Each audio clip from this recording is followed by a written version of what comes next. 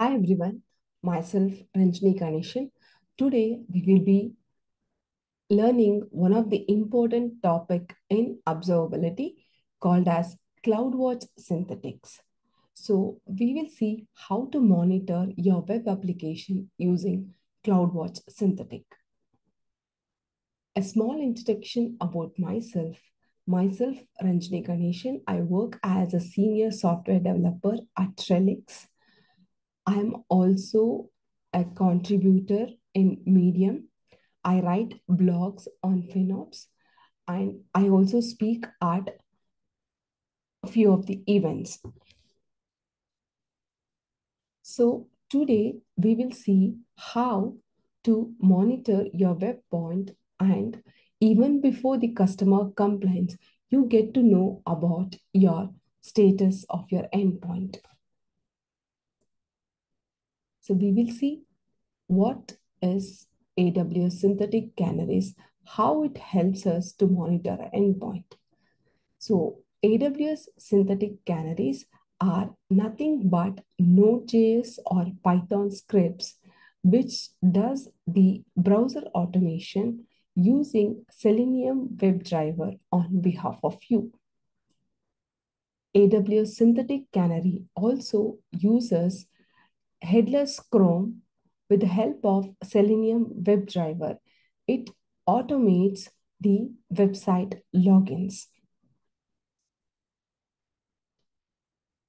AWS Synthetic Canary has capability of monitoring your responsiveness of your website as well as capture the screenshots and latency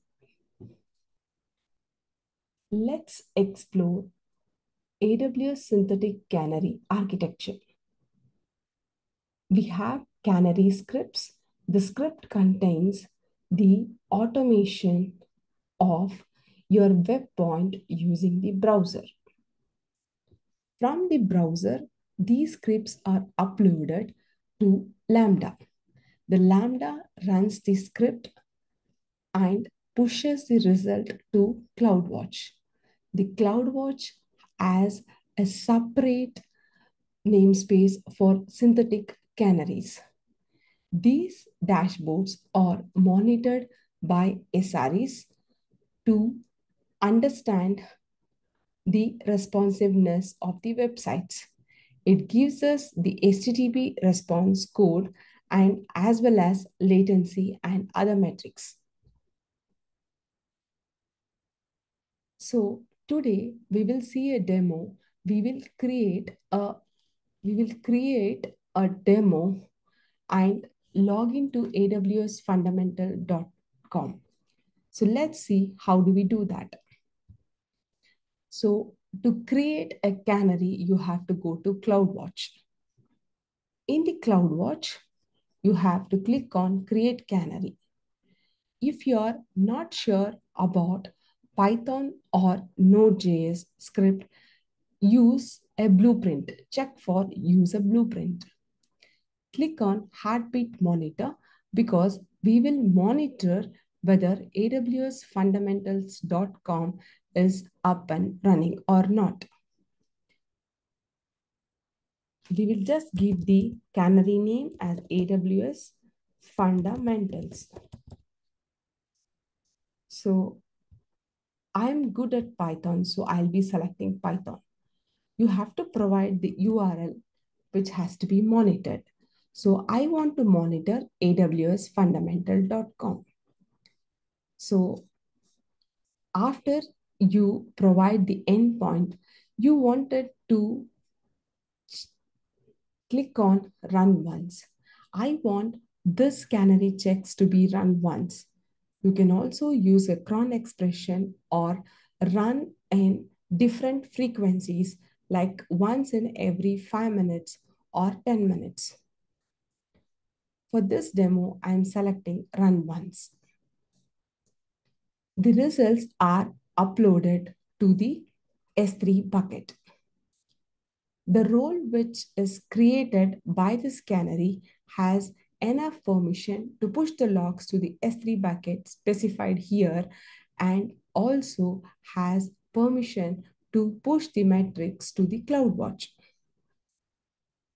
You can run this canary within the VPC or outside the VPC.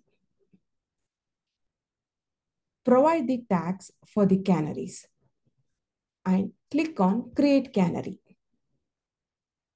Create Canary takes few minutes. Once the canary is been created, let's run the canary and see the results. Meanwhile, I have already run a canary and I have the results here. So let's explore it. You can use this and learn how to create a canary. So I, I have specified the same thing which I showed before. So these are my canary results. So once you're able to reach the website, your canary should be passed and these are the HTTP calls it makes to awsfundamentals.com. And this is the screenshot which is captured by your canary. The advantages of using canary is you detect your endpoint even before the customer complains, which helps you to reduce your downtime as canaries are capable of capturing the latency, you are able to increase the performance. The price for the canaries for each API calls which it makes is less than $1, which excludes the Lambda and S3. If you like this demo, please connect with me on LinkedIn. This is my LinkedIn handle. So let's see the canary results of the canary which we created here.